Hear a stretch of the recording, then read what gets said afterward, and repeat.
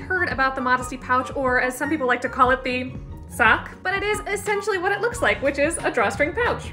And this is used mainly for people with external genitalia when we're trying to get a full rear nudity shot or when we want to see really low in the front.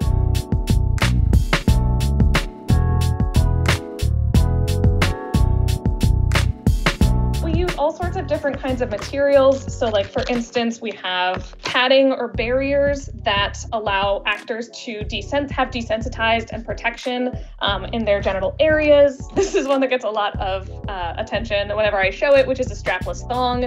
Um, and of course, this is I think a size like extra small, but uh, it essentially adheres on the front and back. We use a lot of body tape to like help garments stay on, or these can also be doubled as pasties. I keep um, tape in all different flesh tones to make sure that it matches the actor that it's um, that it's going to be on because we want to make sure that actors have affirming products as well. Of course, I carry a bag of mints with me everywhere. I have so many mints. Um,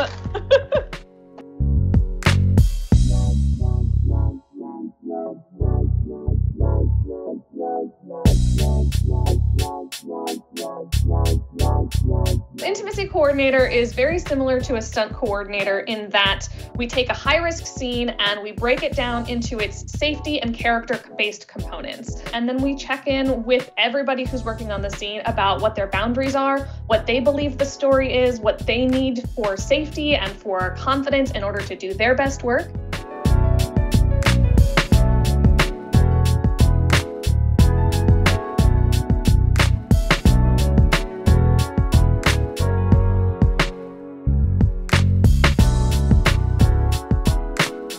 Actually went through a big phase where I almost exclusively watched animated content because I I was just like I have to get out of work.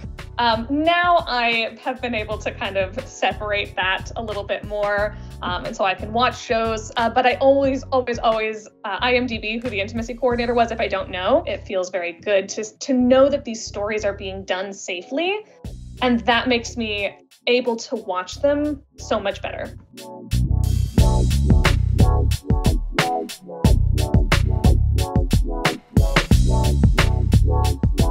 Lot of open-ended questions to kind of gauge how an actor's what an actor's relationship is with the material that we're doing.